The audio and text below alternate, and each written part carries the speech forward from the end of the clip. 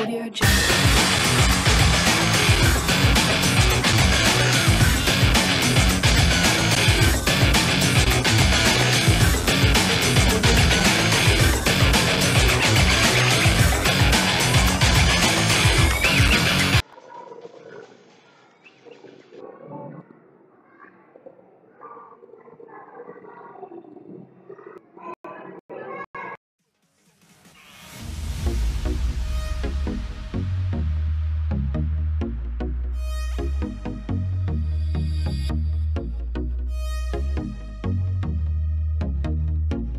Kevi Syahartian Kevi juga tetap bersama Madura United musim depan, ia resmi bertahan di Laskar Sapekerap.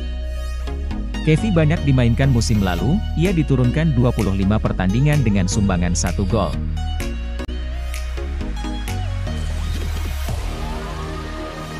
Lirai Jun Li akhirnya resmi membela Madura United. Ia akan mengisi slot pemain asing Asia untuk musim depan. Hanya saja Li tidak langsung dipermainkan Laskar Sapekerap. Ia akan menjalani trial dulu di pramusim.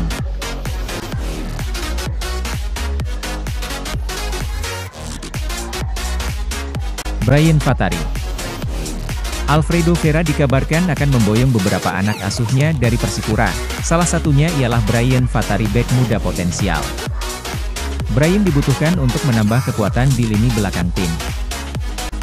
Irfan Bahdim Irfan Bahdim dikabarkan juga masuk dalam radar Persita.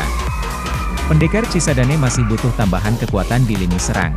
Sebelumnya Bahdim membela PSS dan Persis di Liga 2, turut membawa Laskar Sam bernyawa promosi ke Liga 1.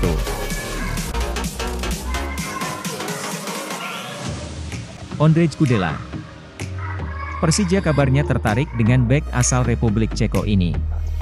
Macan Kemayoran sudah menyodorkan kontrak dua musim.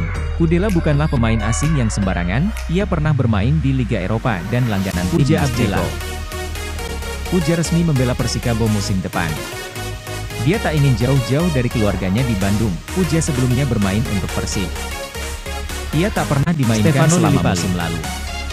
Stefano akhirnya resmi berseragam Borneo FC, ia sudah diperkenalkan sebagai rekrutan anyar tim, dikontrak selama dua musim ke depan. Sebelumnya ia juga sempat dikaitkan dengan Persib. Yandi Sofyan Yandi kabarnya mendekat ke Persikabo 1973.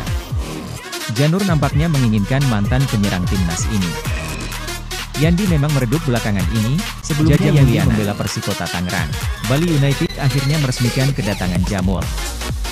Masuknya Jamul akan menambah kekuatan di barisan belakang, Jamul sebelumnya membela Bayangkara FC. Dia mainkan Lulinha. 17 pertandingan. Lulinha siap membela Madura United musim depan. Ia didatangkan untuk menambah opsi di lini serang. Tim Lulinha akan berduet dengan Jaja di lini tengah. Selama karirnya ia pernah bermain Diva di Liga Silva. Brazil, Portugal, Korsel. Diva kabarnya tidak jadi bergabung ke Persik. Ia batal karena persoalan administrasi. Padahal Diva sudah sepakat membela Persik musim depan, untuk informasi. Ia pernah satu tim bersama Neymar Junior saat masih membela Santos FC.